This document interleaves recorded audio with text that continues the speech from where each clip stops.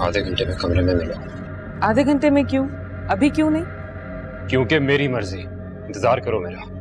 और अगर आधे घंटे बाद मुझे मेरी बहनों ने ना निकलने दिया तो? तुम्हारी बहनों से तो मैं बाद में निपट लूँगा। लेकिन पहले तुमसे कुछ ज़रूरी बातें कर लो। हाय साहिब मुझे तो डर लग रहा है। अपने दिल नवाज़ पे इतनी सख्ती करेंगे आप? फवाद? आधे घंटे में। or knowledge.